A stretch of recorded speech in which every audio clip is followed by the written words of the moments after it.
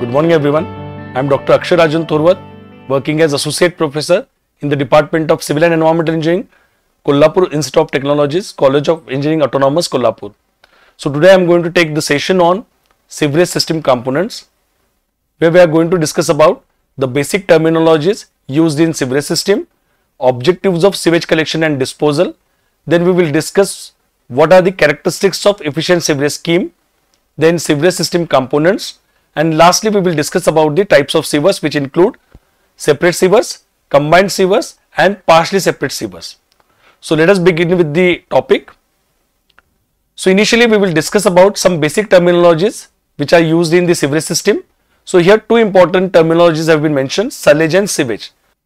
There is always some confusion about these two terms, sullage and sewage. So sullage is nothing but it is the wastewater that arises from domestic activities which includes washing in the bathrooms and kitchens including water from food preparations and dishwashing but it does not consider or contain human excreta. Whereas sewage nothing but it is the liquid waste that includes sullage, discharge from latrines, urinals, toilets, industrial waste as well as storm water. It includes human excreta or human waste as well as wastewater from various sources. Then domestic sewage which is the next term which carries used water from houses and apartments it is also known as sanitary sewage.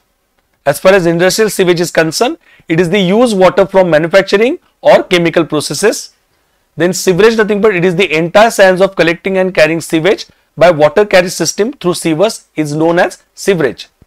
And sewerage system nothing but it is the infrastructure that collects, treat and dispose the sewage. Now as far as objectives of sewage collection and disposal concern, there are two important objectives.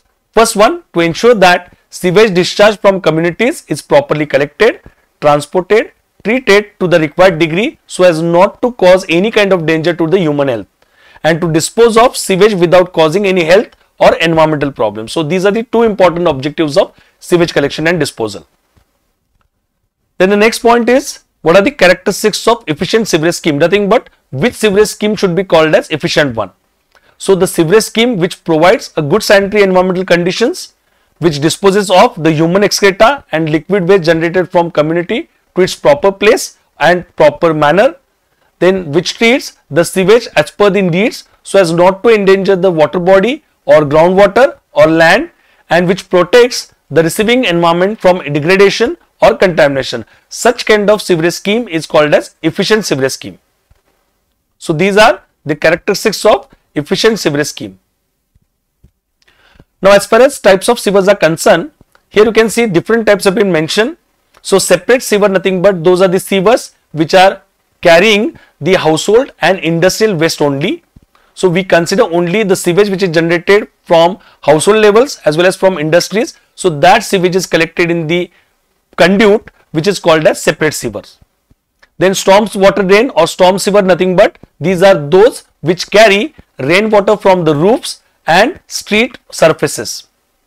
Then combined sewer are those which carry both sewage and stormwater together in the same conduit. So afterwards we are going to discuss about the separate sewer system and combined sewer system where I am going to elaborate more about these two types. So in combined sewer we collect sewage as well as stormwater in a same conduit so that's why it is called as combined sewer. Then house sewer or house drain nothing but it is used to discharge the sewage from a building to a street sewer and lateral sewer which is nothing but a sewer which carries sanitary sewages from more than one house sewers. Further, there are more number of number of types of sewers. So, submain sewer nothing but these sewers carry sewages from more than one lateral sewers, and further it is connected to main sewer which nothing which is nothing but the sewer which receives the discharge from more than one submain sewers. Then two more types are there outfall sewer and depressed sewer. As far as outfall sewer is concerned, this receives the total discharge coming out from all sewer systems and moves it forward for final disposal. And depressed sewer nothing but whenever we come across some obstacles or obstructions, so in that case we use this depressed sewer which is nothing but a section of sewer constructed lower than adjacent sections to pass beneath an obstacle or obstruction. It runs full under the force of gravity and at greater than atmospheric pressure. So, such kind of sewer is called as depressed sewer.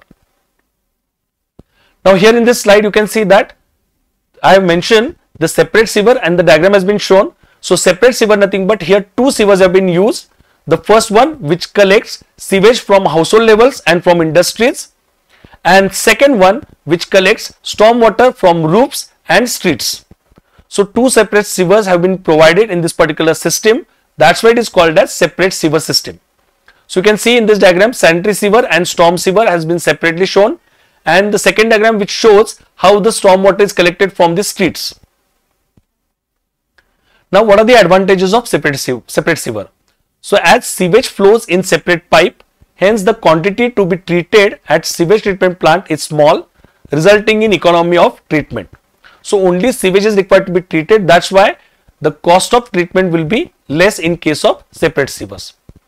This system may be less costly as only sanitary sewage is transported in closed conduit and stormwater can be also collected through the open passages or open uh, drains. So that reduces the cost of uh, conduits or cost of sewers. Then when pumping is required uh, during disposal, this system is economical due to less flow. As far as advantages of separate sewers are concerned, as sewage flows in separate pipe, Hence, the quantity to be treated at sewage treatment plant is small because we do not combine the storm water with sewage. That's why only sewage which is collected from sanitary sewer is required to be treated. So, cost of uh, treatment is less in case of separate sewer. This system may be less costly as only sanitary sewage is transported in closed conduit and storm water can be collected and conveyed through open drains. When pumping is required during disposal, this system is economical due to less flow. As far as disadvantages are concerned, the first disadvantage is that self-cleansing velocity may not be developed in the sewers. For example, self-cleansing velocity nothing but it is the minimum possible velocity of flow which is required to be maintained so that the silt or any particular matter which is carried away by the sewage will not be deposited at any of the section.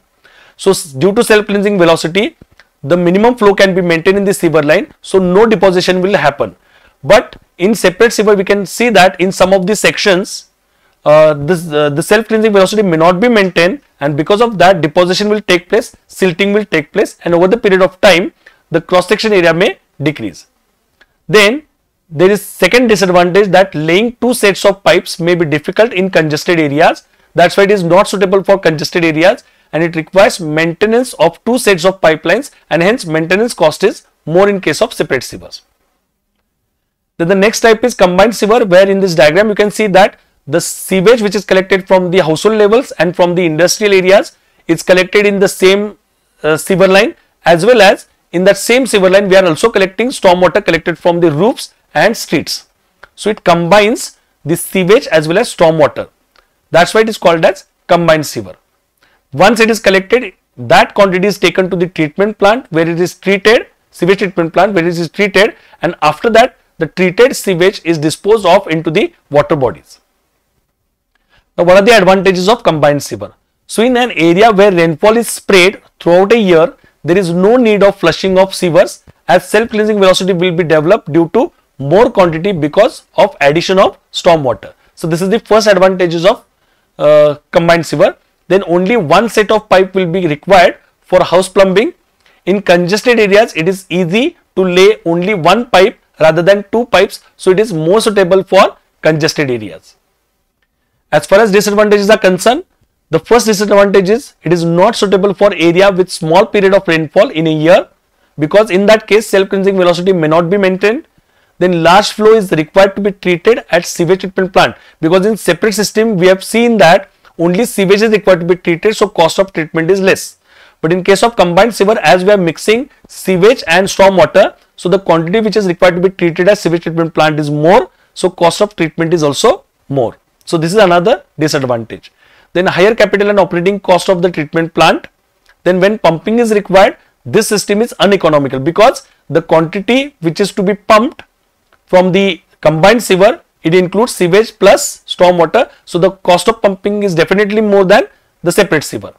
Then during rains, overflowing may happen and overflowing of sewers will spoil the public hygiene because that quantity will be disposed of without any treatment into the water bodies.